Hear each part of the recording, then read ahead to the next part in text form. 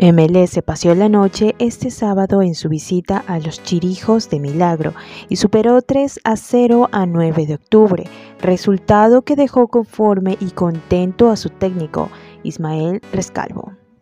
Los eléctricos suman 13 puntos en la tabla de posiciones y les resta un compromiso ante Deportivo Cuenca en el Capul. Millonarios hicieron gala de un fútbol vistoso que tuvo como su principal gestor y también figura al volante Diego el Demonio García. En la novena jornada, los eléctricos reciben la visita de Cumbayá, equipo urgido de puntos para tratar de alejarse del descenso. Para Radio La Original, Odalis Barreto.